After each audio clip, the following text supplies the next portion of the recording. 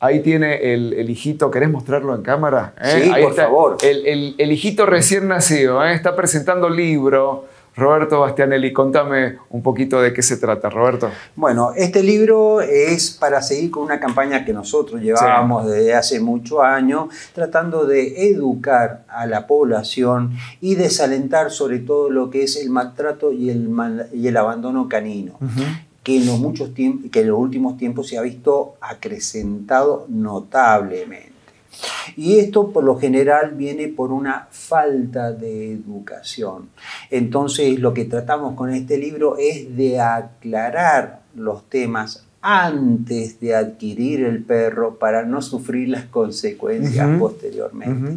Porque los errores, como siempre lo hemos visto, los cometen los propietarios, los humanos, pero el precio lo terminan pagando los perritos, porque son los que sufren de la eutanasia o del abandono. Entonces, eh, con este libro lo que buscamos es justamente eso, concientizar a la gente que el perro no es un jarrón, no es un mueble, no es un artículo que yo voy, lo pongo en una esquinita de casa, no me oriné, no me defequé, no me rompas nada, no me ensucié, es un ser vivo, sintiente y sufriente, necesita de tiempo, que la gente de hoy no, dispone del tiempo y después que tiene el perro se da cuenta que no tiene tiempo para dedicarle al perro. El perro necesita un lugar físico adecuado para su raza y para su tamaño. Y también no tenemos que dejar de lado lo que es el costo de mantenimiento del perro. en estos tiempos, ah, doblemente. ¿eh? Claro, porque en la época de nuestros abuelos se da la sobra. Hoy no sobra nada. Hoy no sobra nada. y los costos de los alimentos han subido de manera notable. Entonces me está sucediendo y vengo permanentemente consultado de gente que apenas pueden comprar el alimento para ello, dicen la bolsa de alimento para el perro está demasiado cara, más la vacuna, mala atención veterinaria, más el desparasitante, mala pipeta.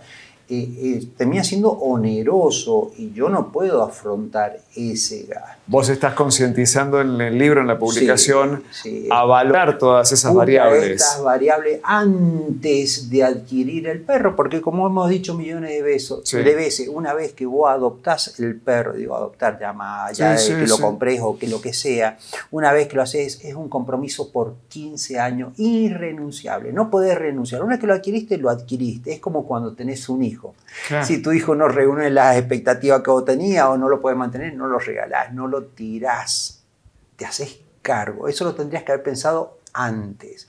Con el perrito pasa lo mismo. Al perrito nadie le pregunta si quiere venir o no a tu casa. Lo agarran y lo traen de prepo. O es decir, vos tuviste el privilegio de elegir entre tener o no tener ese perro. El perro no tuvo ese privilegio. y nadie le preguntó.